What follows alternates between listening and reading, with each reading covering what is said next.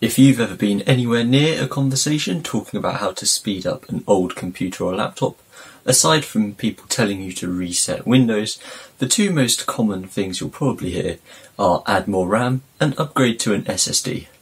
For this video, I'll be investigating how much those two upgrades can actually help an old system, and for that, we'll be using an old Core 2 Duo laptop from 2007, as well as some RAM, some more RAM, a mechanical hard drive, and an SSD. The laptop in question is a Compaq 6910P. I've already made a video on it, and with a dual core 2.5 GHz T9300. In its slow state, we've got a single stick of DDR2, 2 GB. There's also a 5400 RPM Seagate mechanical hard drive and on that is a fully updated installation of Windows 10. Both the updated and the standard version of the laptops are going to be clean installs of Windows. They're also going to have Steam installed, which will add something to the boot up, and will also mean a background program running, which will make it more realistic to a standard user. The test, test is going to comprise of a startup, race between the two, and then we'll also be opening some uh, websites and just doing the sort of average day-to-day tasks to see really whether the addition of an SSD and RAM makes much of a difference. Let's begin with the startup.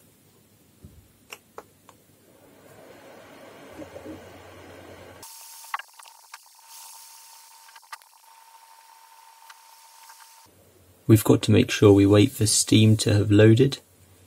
I get the idea that my arm is going to hurt by the time this is finished.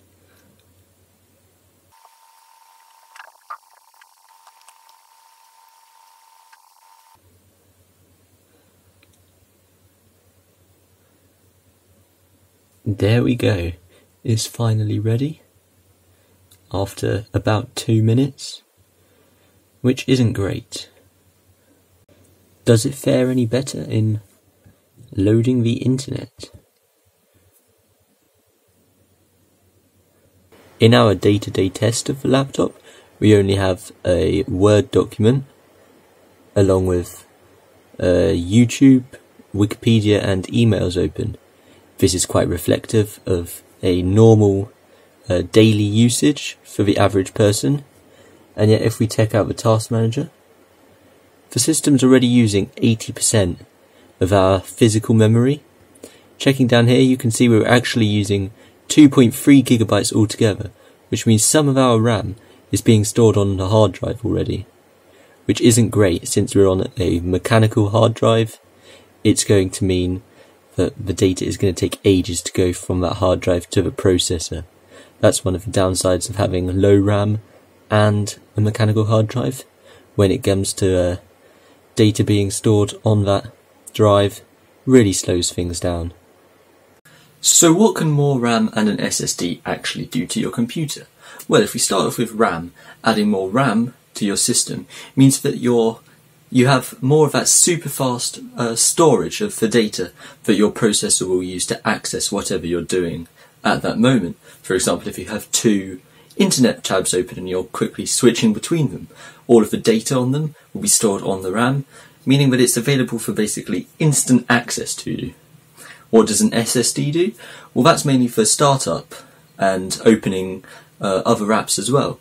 So, it, because it's quicker than a mechanical hard drive, it means that the data is quickly copied from the storage onto your RAM for then uh, quick use. So if you're booting up Windows, quickly into the RAM.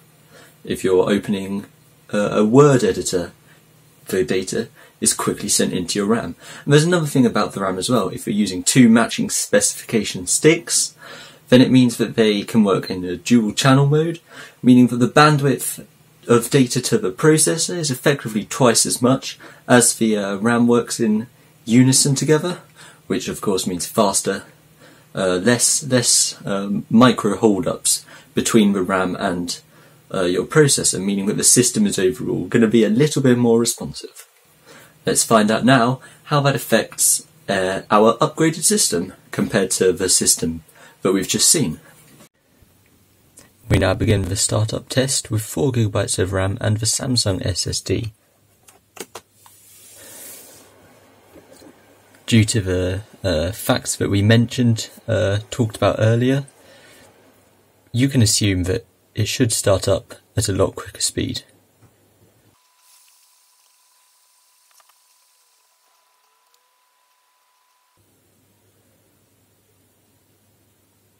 Surprise, surprise, it's done in under a minute and a half. Our recreation of day-to-day use is really taking up more RAM than we had access to on the previous setup. This means that, for example, YouTube videos are able to buffer more, and also the programs can be switched between really quickly. It's clear that this laptop has seen a big speed boost with the upgrade. Well, as we've just seen, the mid-test predictions have proved to be correct. Loading up Windows and loading up any applications were much less of a drag as they uh, were completed quite quickly from, from using an SSD compared to a mechanical hard drive.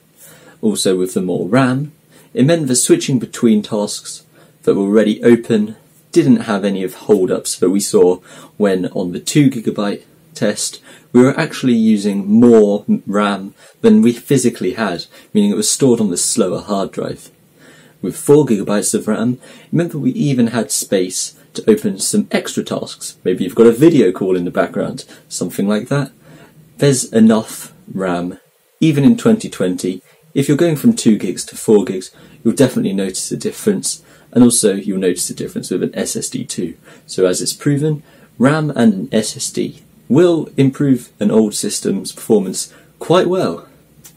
I hope you enjoyed this video. If you did, leave a like, and also don't forget to subscribe for more videos like this. For now, hopefully I'll see you in another video.